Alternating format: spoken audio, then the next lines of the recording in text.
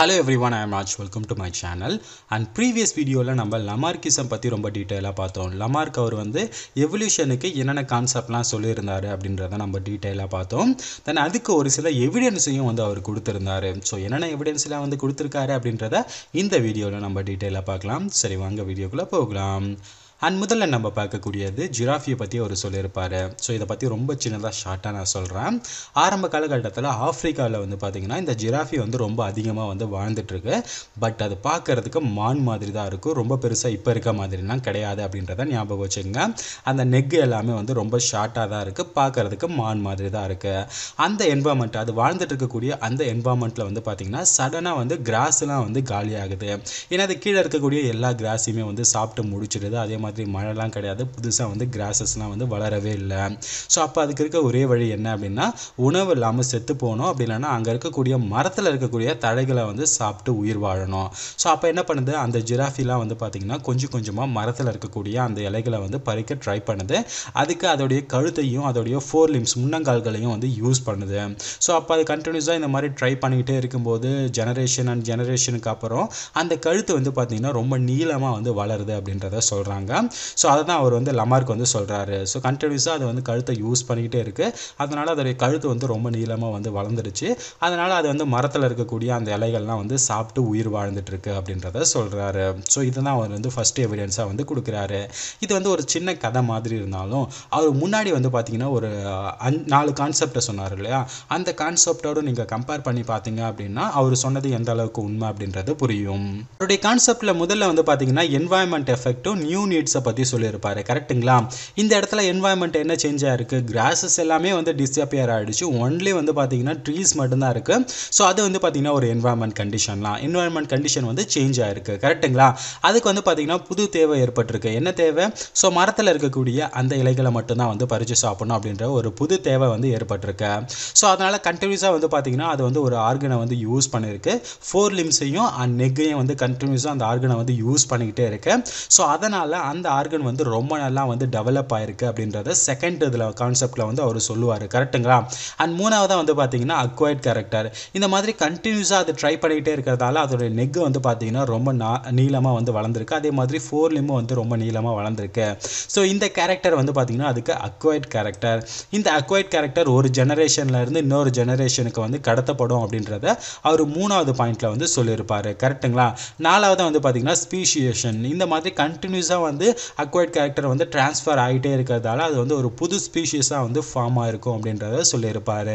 So இந்த இடத்துல ஒரு ஷார்ட் நெக் ஜிராஃபி வந்து பார்த்தீங்கன்னா லாங் நெக் ஜிராஃபியாக வந்து மாறி இருக்கு ஸோ அதுக்கு வந்து பார்த்திங்கன்னா இந்த நாலு காரணங்களை வந்து முன்னாடி வந்து வைக்கிறாரு. ஸோ இப்போ உங்களுக்கு புரிஞ்சிருக்கும். அண்ட் லமார்க்கோட கான்செப்ட் என்ன? அவர் சொன்ன எக்ஸ் எவிடன்ஸ் என்ன அப்படின்றது உங்களுக்கு புரிஞ்சிருக்கும். சரி இன்னொரு எவிடன்ஸையும் வந்து கொடுக்குறாரு.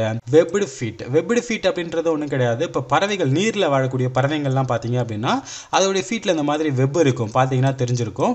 நார்மலாக இருக்கக்கூடிய பறவைகளில் இந்த மாதிரி வெப் இருக்காது. பட் நீரில் வாழக்கூடிய பறவைகள் மோஸ்ட்லி இந்த மாதிரி வந்து வெப் இருக்கிறத வந்து நீங்கள் பார்த்துருப்பீங்க.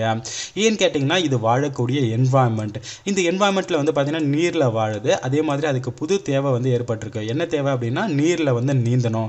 ஸோ அது வந்து ஒரு புது தேவை தானே. தென் அதுக்கப்புறம் வந்து பார்த்திங்கன்னா அது கண்டினியூஸாக அதோடைய அந்த விரல்களை தான் வந்து யூஸ் பண்ணியிருக்கு கால் விரல்களை வந்து யூஸ் பண்ணிகிட்ருக்கு ஸோ இந்த மாதிரி ஒரு ஆர்கனை வந்து கண்டினியூஸாக யூஸ் பண்ணிக்கிட்டே இருந்தது அப்படின்னா அந்த ஆர்கன் வந்து ரொம்ப நல்லா வந்து டெவலப் ஆகும் அப்படின்றத லமார்க் சொன்னார். அதே மாதிரி தான் இந்த இடத்துல வந்து கால்களில் வந்து பார்த்திங்கன்னா ரொம்ப நல்லா வந்து டெவலப் ஆகிருக்கு தண்ணியில் நீந்துறதுக்கு மாதிரி. ஓகேங்களா? தென் அதுக்கப்புறம் என்ன ஆயிருக்கு? ஸோ இது வந்து புது ஸ்பீஷீஸாகவே வந்து மாறி இருக்கு மற்ற பறவைகள்ல இருந்து இது வந்து புது ஸ்பீஷீஸாகவே வந்து மாறி இருக்கு அப்படின்றத சொல்கிறாரு ஸோ இந்த மாதிரி தான் வந்து பார்த்திங்கன்னா புதுசாக ஒரு ஸ்பீஷீஸ் வந்து ஃபார்ம் ஆகும் அப்படின்றத இந்த நாலு கான்செப்டை வச்சு சொல்கிறாரு சரி இன்னும் ஒரு சில எவிடன்சஸை வந்து நம்ம பார்க்கலாம். Eyes of cave animal cave அனிமல்லாம் நீங்கள் பார்த்துருப்பீங்க அப்படின்னு நினைக்கிறேன். ஸோ அந்த கேவ் அனிமலோட ஐயை பார்த்தீங்கன்னா உங்களுக்கு கொஞ்சம் டிஃப்ரெண்ட்டாக தெரியும். என்னன்னு கேட்டிங்கன்னா இந்த கேவ் அனிமல் மோஸ்ட்லி வந்து பார்த்தீங்கன்னா டார்க்காக இருக்கக்கூடிய கண்டிஷனில் தான் வந்து வாழும். ஸோ அதை டார்க்காக இருக்கக்கூடிய அந்த கண்டிஷனில் வாழறதால அதுக்கு வந்து ஐ வந்து தேவையே கிடையாது. கரெக்டுங்களா ஐஸ் வந்து யூஸ் பண்ண போகிறதே கிடையாது. இப்போ இருட்டாக இருக்குது அந்த இடத்துல வந்து பார்த்தீங்கன்னா அதனால் பார்க்கவும் முடியாது. அதனால் அது ஐயை வந்து பார்த்திங்கன்னா யூஸ் பண்ணுறதே கிடையாது. அந்த என்வாமெண்ட்டு வந்து பார்த்திங்கன்னா அந்த மாதிரி. ஸோ அதனால் அதுக்கு வந்து பெருசாக எந்த தேவையும் கிடையாது. அதனால் அது ஐயை வந்து பார்த்திங்கன்னா யூஸ் பண்ணுறதே கிடையாது.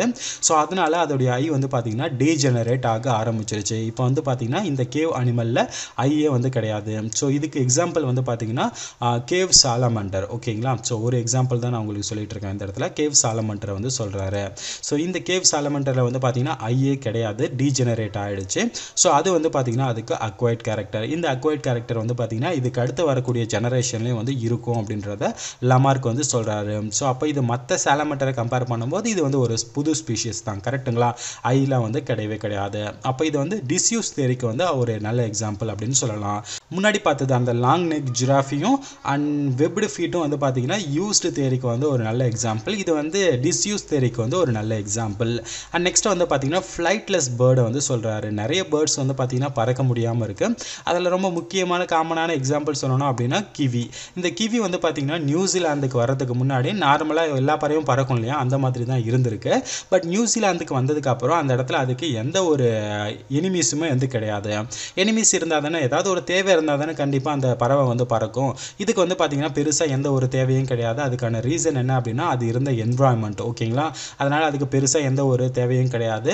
அதனால் அது வந்து பார்த்தீங்கன்னா விங்ஸை வந்து யூஸ் பண்ணுறதே கிடையாது. ஸோ விங்ஸை யூஸ் பண்ணாதால அந்த விங்ஸ் எல்லாமே வந்து டீஜெனரேட் ஆகிடுச்சு இந்த விங்ஸ் வந்து டீஜெனரேட் ஆகிறது அப்படின்றது இதுக்கு வந்து அக்வைட் கேரக்டர் அண்ட் இந்த அக்வைட் கேரக்டர் வந்து பார்த்தீங்கன்னா இதுக்கு அடுத்து வரக்கூடிய ஜெனரேஷன் ஜெனரேஷன்லையும் வந்து பாஸ் ஆகும் அப்படின்றத லமார்க் வந்து சொல்கிறாரு ஸோ இதனால் மற்ற பறவைங்க கிட்ட இருந்து இது வந்து ஒரு புது ஸ்பீஷீஸாக வந்து ஃபார்ம் ஆயிருக்கு அப்படின்றதையும் இவர் இந்த இடத்துல வந்து சொல்கிறாரு ஸோ இதெல்லாம் வச்சு பார்க்கும்போது லமார்க்கோட கான்செப்ட்டும் அண்ட் அதுக்கான எவிடன்ஸும் வந்து ரொம்ப நல்லா இவர் வந்து கொடுத்துருக்காரு அப்படின்னு தான் சொல்லணும். சரி இவர் என்னதான் எவிடன்ஸ் கொடுத்தாலும் இவருடைய கான்செப்டுக்கு ஒரு சில கிரிட்டிசிசம்லாம் இருக்குது அது என்னென்ன அப்படின்றத நம்ம ஒவ்வொன்றா பார்க்கலாம்.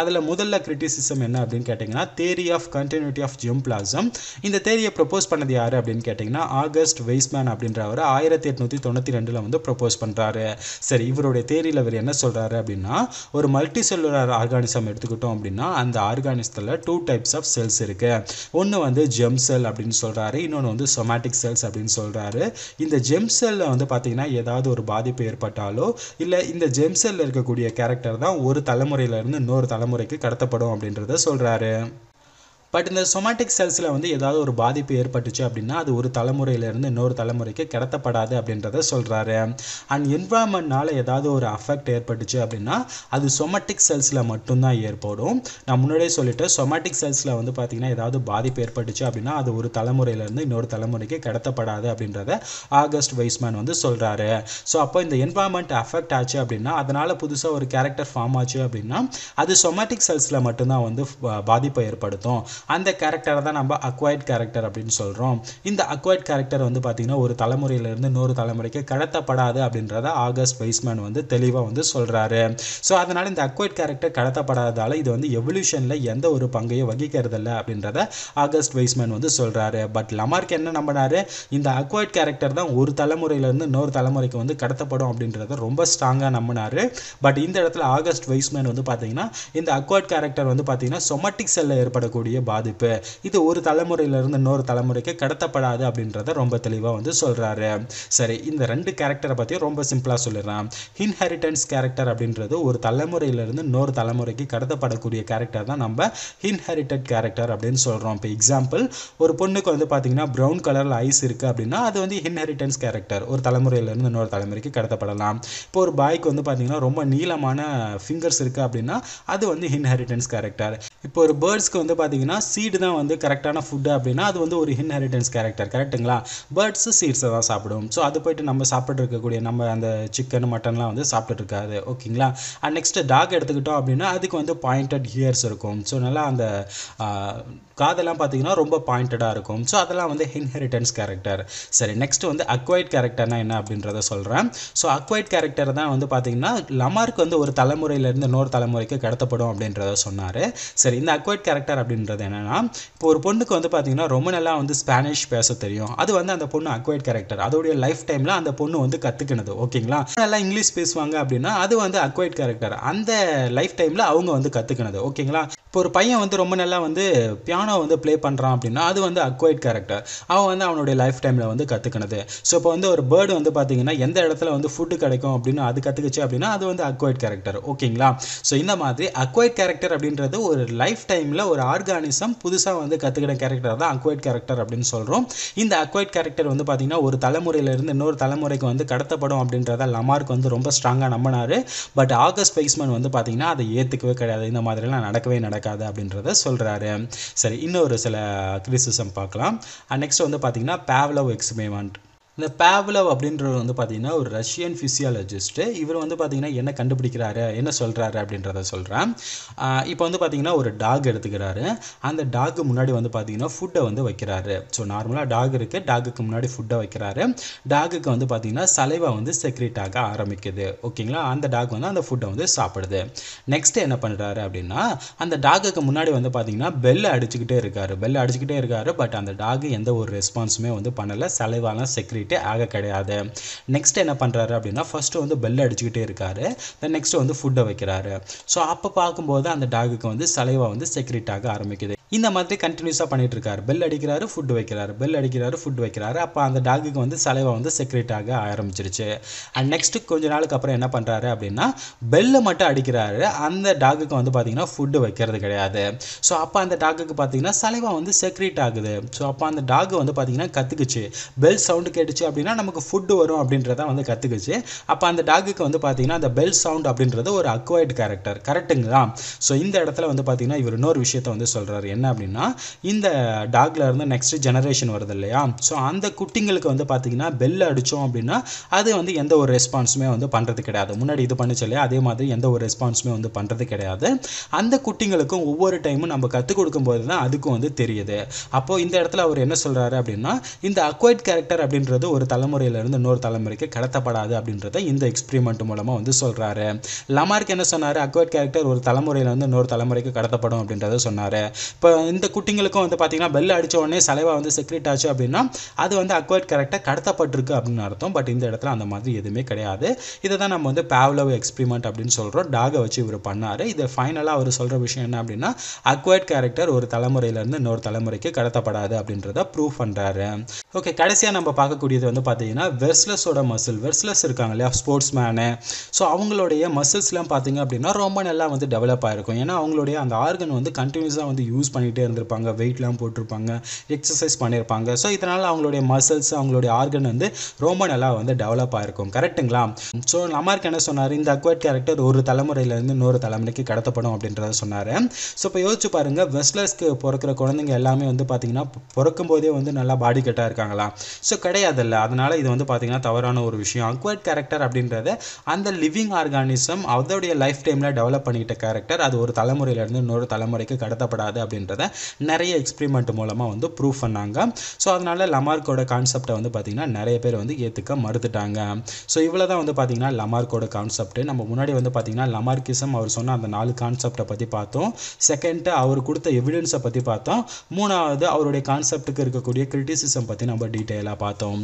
அண்ட் இதில் உங்களுக்கு வேறு ஏதாவது சந்தேகங்கள் இருந்ததுன்னா கமெண்ட்டில் சொல்லுங்கள் அண்ட் இந்த வீடியோ உங்களுக்கு ஒரு உபயோகமான வீடியோவாக இருந்திருக்கும் அப்படின்னு நினைக்கிறேன். அண்ட் இந்த வீடியோ பிடிச்சிருந்தது அப்படின்னா மறக்காமல் நம்ம சேனலை சப்ஸ்கிரைப் பண்ணிக்கோங்க. And Raju's biology dot com போனீங்க அப்படின்னா ஃப்ரீயாக ஸ்டடி மெட்டீரியல்ஸை டவுன்லோட் பண்ணிக்கலாம். அண்ட் மறக்காமல் இந்த வீடியோவை உங்கள் நண்பர்களுக்கும் ஷேர் பண்ணுங்கள் தேங்க்யூ ஃபார் வாட்சிங்